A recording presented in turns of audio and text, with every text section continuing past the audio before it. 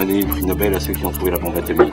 On a donné le prix Nobel à ceux qui ont trouvé le DDT. Sympathique le DDT qui a tué des milliards d'abeilles et d'insectes dans le monde. On a donné le prix Nobel à celui qui a fait la révolution verte, qui a stérilisé hectares euh, dans les pays tropicaux, qui a affamé toute l'Afrique et tout. Chaque fois que vous trouvez un truc qui va dans le sens de l'industrie mais pas dans le sens de la vie, vous inquiétez pas, vous aurez le prix Nobel. Donc on n'aura pas le prix Nobel. Aucune chance, strictement aucune chance.